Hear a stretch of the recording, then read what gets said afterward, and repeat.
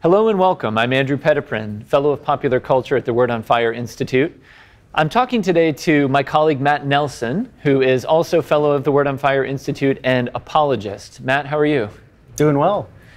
We're going to talk about something that you'll be talking about um, publicly, which is the rise and fall of atheism, which is a provocative topic. What what's the rise of atheism? Tell us like how we got to this place where there are people who say they just don't believe in God. Right.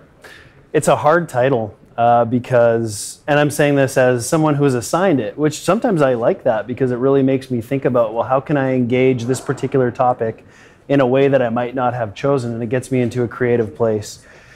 The hard thing about a title like that is that there isn't one atheism. I mean, there's a general sense we can define atheism as the belief that there are no gods or God, but at the end of the day, there's all kinds of atheists out there. There's practical atheists, mm. there's scientific atheists, there's philosophical atheists, there's people who are atheists because they think it's cool, but they have no intellectual grounding for it. So there's there's a lot of ways to look at this. There's atheists of the Enlightenment, there's the atheists of there's the new atheists, and, and then there's the atheists in academia, some of whom are very honest seekers of the truth. So it's a difficult title to grapple with, but think what I'm trying to accomplish in this particular talk is really trying to look at the rise of atheism in, at different times in history and seeing what kind of lessons we can learn from it, uh, from all of those different um, scenarios. What can we learn and apply today as we evangelize people who don't believe in God? So, for example, I think that there's a lot to be learned from going back to the 18th century and seeing the rise of atheism in light of the French Revolution. Mm-hmm. There, atheism is seen as a, liber- a way of liberating oneself, freeing themselves from the authority of religious of the of the church and of religious figures, and, and for good reason, because at those time, at that time, there was corruption and there was all kinds of problems with the way that the church was was kind of handling itself and the, and the way that it operated in society. And so, uh, ironically, then you move into like later, you know, a couple hundred years later, and you've got the fall of the Berlin Wall. And, or even if you look at Soviet uh, or communist Poland, and people want religion as because that's going to be the thing that liberates them. Um, and so that's an interesting, I think, uh, theme of atheism as liberator or atheism as oppressor. And so, what I think is really important, though, is people became atheists going back to the French Revolution and, and, and that time because they were reacting to things going on really politically, but also, um, you know, again, with the church, but more politically than religiously. And so it was not so much on intellectual grounds so much as it was, was on more existential grounds. And so we have to remember that when we engage atheists, given what we've learned about why people drift towards atheism, it's not always going to be arguments that's going to move people in the direction that we like to see them move. It's going to be building relationships with them mm-hmm. and uh, maybe coming to show them that there's something attractive about the Christian option. Is this then where you're headed with this idea of the fall of atheism? I mean, is this an aspirational thing, or is this, or is this actually something you, you see that atheism is like falling? Like it's not, it doesn't have as much traction as it once did. Yeah, so I kind of hinted at that when I talked about the fall of communism and how in, in countries like Poland, religion was actually seen as the liberator rather than the, the oppressor. Right. And so um, I think that we can also learn lessons from times in history when we saw the decline of atheism and what was it that people were looking for when they moved from non-religious worldviews to religious worldviews. Um, and there is something obviously liberating about christianity. I mean it's the ult- it, properly understood it's the ultimate way towards liberation or in christian terms salvation. And so I think what we really need to do, and this is this this is Blaise Pascal in the 17th century, but this is also something that a very intelligent atheist friend recently told me, and that is that to see the fall of atheism in our times, we have to make Christianity attractive. Mm-hmm. And so that's a theme that I come to often throughout this talk is we need to make Christianity Christianity attractive. Here are the lessons we've learned that tell us that, and then here are some ways that we can do that.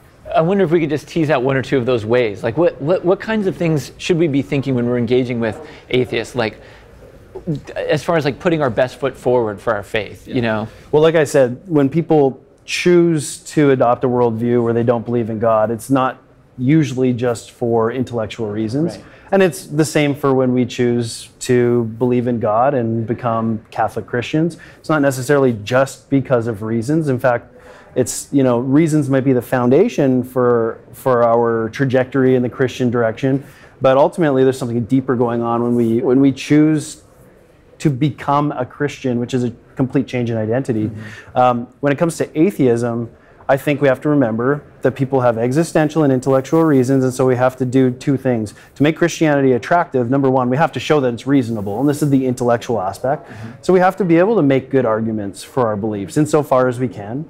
We have to be clear communicators and be able to articulate our reasons well in a language that non believers are going to understand.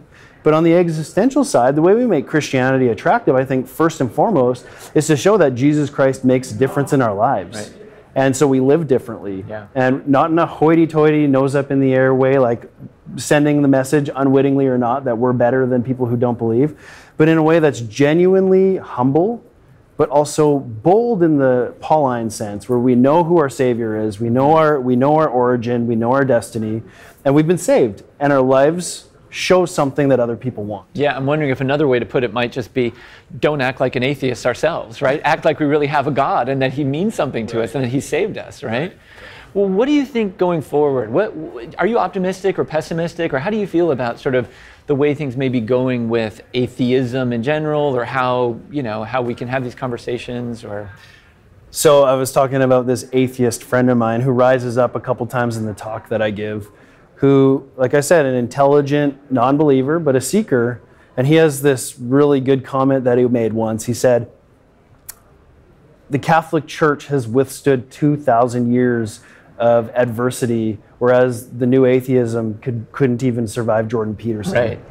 and so uh, I think that we're headed in a good direction. And the reason why is because I think we saw that a sort of new atheist, sort of dishonest sort of atheism is not viable, mm. Um, which is hopeful. What, but I also see signs in the culture that there is this gravitation towards a more intelligent, open minded non belief. You see that with people like some of these public figures like Dave Rubin, uh-huh. even Jordan Peterson, who's not, you know, as far as I can tell, a confessing Christian, mm-hmm. who I think has come to warm up towards Christianity as maybe even being true. Um, Tom Holland, a, a, a, scholar, a historian who. Um, is willing to engage believers from an atheist perspective, but in a very friendly and open minded way. Uh, and then serious philosophers like Graham Oppy today, who regularly engages in debate with some of the best Christian philosophers that um, the church has to offer. Mm-hmm. I think these are signs, and they've got followings. They've right. got their own disciples of people who want to do the same thing. So the fact that we're seeing dialogue open up and we're seeing this open mindedness coming to the forefront on social media and other influential places, those are signs of hope, I think. Yeah, I wonder if it's almost like through people like this, it, it, we, we can see that atheism in the traditional sense is almost kind of like passe now, you know, that maybe it's uncool even. Well, maybe, I mean, the, the problem with books like The God Delusion and Christopher Hitchens' works and, and going, you know, going back to the New Atheist is like the New Atheism has waned yeah. and they don't have near the influence that they once had. And even if you were going to write a book that's in the sort of tone of the New Atheism, making similar arguments, I don't think it would be a bestseller today. But, right. but you know, 10 years ago, that was a different story. Yeah. But there's a fallout from that era you know, because they hit hard. That was a that was a influential movement when it was at its peak, and so they they uh, had an effect on the young people of uh, of our culture, and you still see that. But I think again, going back to what we can do, if we can effectively and clearly communicate the reasons for our belief, mm-hmm. and engage atheists where they're at, including those who are the sort of intellectual offspring of the Richard Dawkinses and the mm-hmm. Christopher Hitchens and so on if we can be patient with them and open them up to, to a new kind of non-hostile towards atheism Christianity, mm-hmm.